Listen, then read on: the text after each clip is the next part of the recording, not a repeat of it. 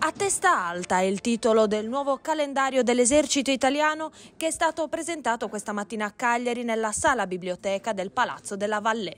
Un'opera editoriale storica realizzata per aprire una riflessione sul ruolo dell'esercito italiano a seguito dell'8 settembre 1943 e per ricordare l'ottantesimo anniversario di quegli eventi. L'opera editoriale vuole raccontare cosa accadde durante l'armistizio, quando i soldati italiani, nonostante la situazione, continuarono a combattere per contrastare l'aggressione tedesca. L'acquisto dell'opera editoriale contribuirà a sostenere l'opera nazionale di assistenza per gli orfani ed i militari di carriera dell'esercito, alla quale sarà devoluta una quota del ricavato delle vendite.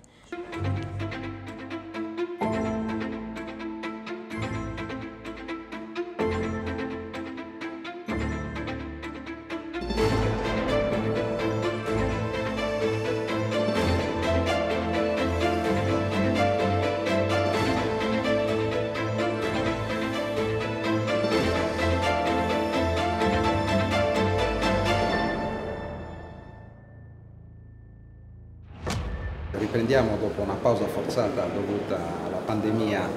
la tradizione ormai eh, che, che, è data da tanti anni della presentazione del calendario dell'esercito, che è uno straordinario strumento di comunicazione per noi con il quale vogliamo eh, comunicare, informare l'Italia, gli italiani soprattutto, eh, con alcuni messaggi, con alcuni temi,